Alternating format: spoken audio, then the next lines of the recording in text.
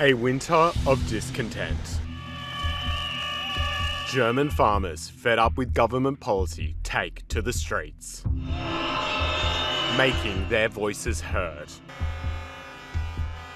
So, why are German farmers protesting? German farmers are protesting over tax increases on both agricultural vehicles, so tractors, and diesel.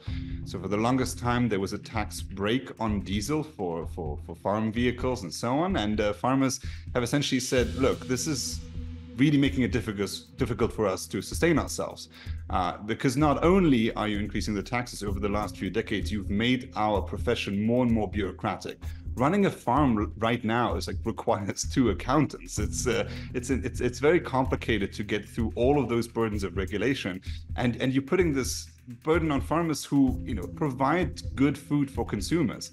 And right now we are in a cost of living crisis where consumers are asked in europe to pay more and more for food. And to now also punish those who provide safe food to consumers i think is really unfair. Basically the reason they're pro- protesting is because uh, the, the government has planned to increase the fuel taxes uh, and to increase the taxes on the farmers, on the farmers' vehicles, and so on. And uh, this is being done. Uh, one reason that they said it's because it's it's going to be good for the climate, uh, and of course, other reasons as well is because of austerity measures. Uh, so we are seeing these things happening uh, with the government cutting down on support for the farmers, and the farmers are not very happy about it. And we've been seeing similar things happening all across Europe.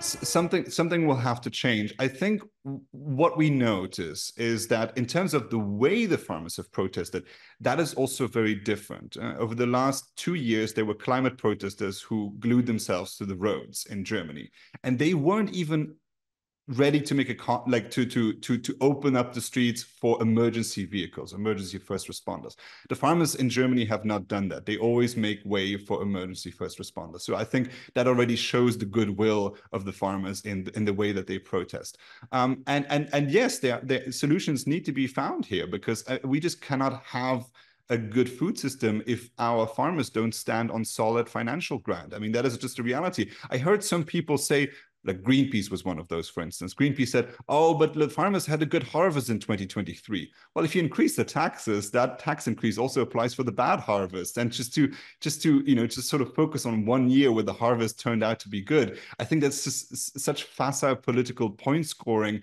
and and spin doctoring that is that is very emblematic of the environmental policies that we see all over Europe. We just focus on one issue. and We say, well, if all of us just changed our habits, we could change the planet. Well, unfortunately, there's an economy behind it. There's people who work in these industries who need to make a living. We need to be able to afford food. We already pay a lot more for food than, for instance, our American counterparts. So we need an efficient agricultural system. Yes, we do need to watch out for protecting our environment, but we also need to do it in a way that doesn't bankrupt the people who've been working in this and who had family businesses running in this industry for, for decades, if not centuries. So I think we need to be very careful when we mess with our food system. And as the protesters continue to make their concerns heard, the German government is hoping to find a resolution. The government came with this uh, so called compromise where they were going to, instead of making the taxes, uh, increase taxes immediately, they would do it gradually over a few years. The farmers said that uh, that was not good enough and that they would continue the protests. And now, of course, we will have to wait and see what the farmers do, but uh, it seems like they've been pretty uh, pretty firm on their stance and not backing down because after all this goes back to their livelihood. the average farm in Germany is looking to lose around 5,000 euros per year in these increased costs. Um, and of course, that's going to cause a lot of farms to go bankrupt, to go under. And this is about their livelihood. And they, yeah, I, I think we will be seeing more more of the protests if uh, if if it has if if it has to be between the livelihood or or between having a livelihood and not having a livelihood, I definitely think the farmers will be will be standing firm that they want to have a livelihood. They want to be able to to keep on farming, to keep giving us the food that we need, and uh, yeah, because uh, it's kind of insane to me to see these climate policy is being used in order to undermine for countries to undermine their own food security, to undermine their own uh, yeah, to undermine their own, own food security in, in, in under this use of uh, climate change. It's it's madness, but um, yeah, that's that's the world we live in, unfortunately. The German government is currently seeking a compromise. What they say is that they won't increase taxes on agricultural vehicles and they will phase out those tax breaks of the past. Uh, so that, that means essentially that over the next few years, farmers will increasingly pay more for diesel, which isn't quite the quick jump that the German government initially wanted, but it's not enough for farmers. Farmers continue to protest. Just this week, 30,000 farmers descended on Berlin to show their disapproval and say that they are not backing down. Now, it's possible that the German government will find some sort of a compromise and maybe some bureaucratic alleviation. And the finance minister has alluded to, to some of that. But I just don't see it happening right now. The farmers are very angry. When the finance minister spoke at their protest, he was booed. He could barely uh, barely say a word. So I think it's it's just very telling that the mood is really not looking out for compromise right now. And I can totally understand why the farmers are upset. The farmers have experienced an influx of support from around the world. Popular TV presenter and farmer Jeremy Clarkson has spoken out against the issues European farmers are facing. In The Times, Clarkson wrote, the Green Movement has come along and announced that it is bad for the upper atmosphere to grow food and we must all stop. And because modern politicians have all become enslaved by idiotic left leaning pressure groups, they've nodded, said okay, and decided to cut farming subsidies to the bone, which means Europe's farmers are screwed. They can't make anything approximating to a living wage without government help, and they can't put up prices because the supermarket system doesn't allow it. Meanwhile, in Germany, support from the locals has been strong as well, that is the most fascinating thing because despite the farmers having blocked roadways across the country, 80% of Germans who have no affiliation with the agricultural sector in polling say that they support the farmers right now. And the polling of the government is equally bad because the government has essentially initially said, look, these farmers, they are just having a little complaint here. What they should do is use electric tractors instead. And also, they're all just far right. So they were trying to brandish all the farmers as being sort of in a political corner, which has an even stronger implication in Germany than it does elsewhere in the world. So that has really backfired on the government. The people support the farmers. And that is very similar to what we've seen in the Netherlands before polls lately, there is uh, one party in Germany, the right-wing Alternative for Deutschland, the AFD party. They have been supporting the farmers, and it seems like they've been gaining in the polls recently as well. If that's just because of the farmers' cause or if there's other things as well, that's uh, difficult to say. But uh, definitely, I saw I saw a poll uh, came out recently uh, from Germany saying that 69% of the German people actually support the farmers and uh, we've seen videos where firefighters, people have been lining the streets, cheering on the farmers as they've been rolling in with their tractors on the streets. So it definitely seems to be a large support for from the people uh, for, for the farmers for sure. In 2023, Dutch farmers took to the streets to object to extreme climate goals. These farmers fought back and formed the Farmers' Party, which became a new powerhouse in the Netherlands Parliament. This political implication in Netherlands is creating concern for the current German government.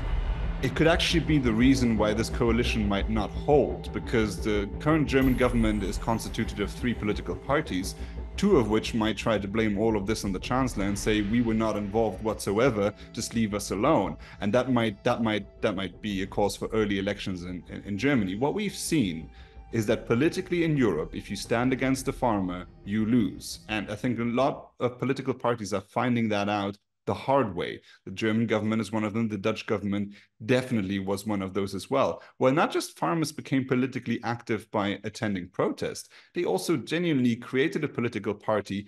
And it looks like in the current coalition talks in the Netherlands, they might even be part of the next government. So what we're seeing is as the European Union and many European governments have politicized farming, farmers have made the conclusion that they should become political.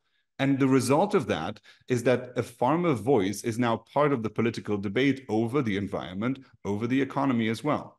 Uh, where the government was essentially planning on forcing the farmers to sell their land to the state uh, at a fixed price, uh, decided on by the government so the farmers wouldn't have a say on it, and then they would be banned from starting any kind of new farmers businesses in the whole of the EU. Uh, so really destroying uh, generational farms, uh, destroying their livelihoods by essentially doing the same thing as what they did in the Soviet Union, uh, seizing the means of production. Uh, so I actually came up with a, a term for it. I call it uh, climate communism, because that's essentially what they're doing. They are using the excuse of climate change in order to gain control of the food supply, to gain control um, of the farmers, because you know we need farmers, uh, and if we don't have farmers, people are going to go hungry. They're going to come to the government to beg for help, and um, yeah, that's a very clever way to gain control.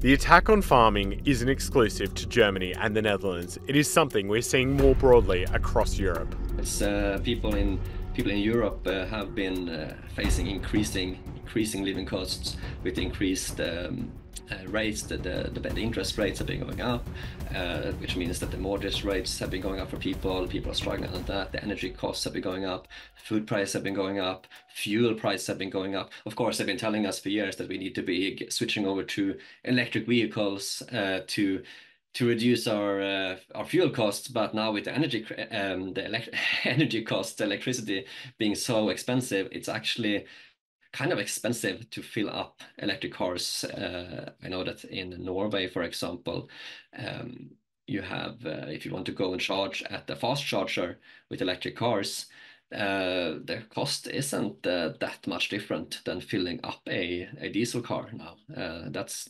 so again, the we, we, we keep getting told that we need to do this, we need to do that, and then it's gonna get cheaper for you, it's gonna get better, but then to just get increased costs anyway.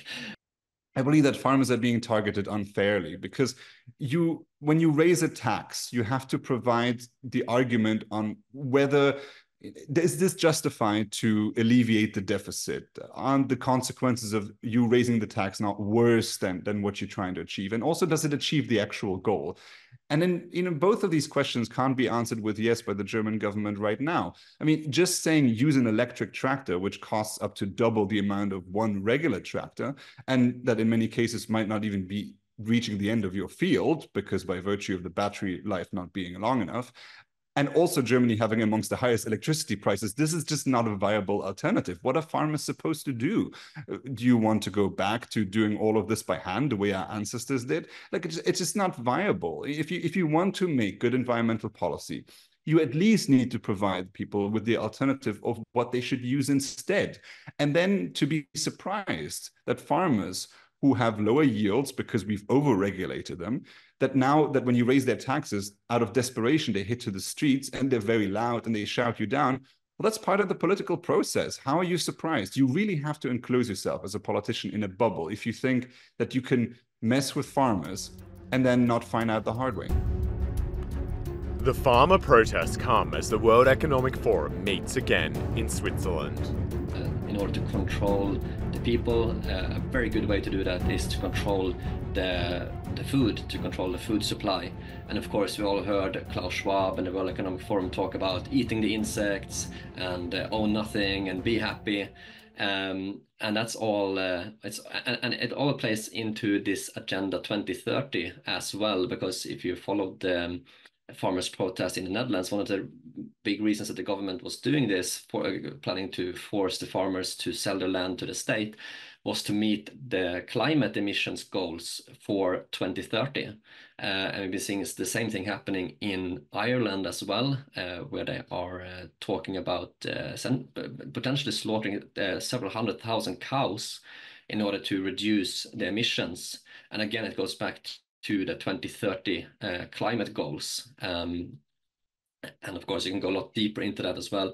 Bill Gates, he has been funding the global goals outlined in the Agenda 2030 uh, with uh, billions of dollars. Um, it's it's a whole thing you can do a big study on. But yeah, I think it all goes down to that, uh, as we have seen over the last couple of years, uh, we have seen a huge transfer of wealth from the poor people, from the regular people to the rich elites. Uh, we have seen a large uh, control um, transfer of uh, power and control as well to the rich people, to the elites, as we saw during the pandemic, for example. And I think this is a continuation of that. Um, I think that is what what we're seeing. That's really going on in, in the background here. But for now, in Germany, until the government comes to the table, the protests are expected to continue. I mean, they've already watered down their proposal. It's not enough for the farmers. I think they're right in their assessment that they should continue protesting. But ultimately, it all depends on what the German government will do. Will it will it look at the polling numbers and say, okay, we have to drop all of this. Let's find a different way of raising revenue, or maybe cutting spending. That might be a good idea for the German government also. It's really dependent on them. The farmers have made it very clear. We're not out here to annoy anyone or to make anyone get late to work. We're just trying to prove our point that we are part of a food system that is vitally important for the economy and for consumers.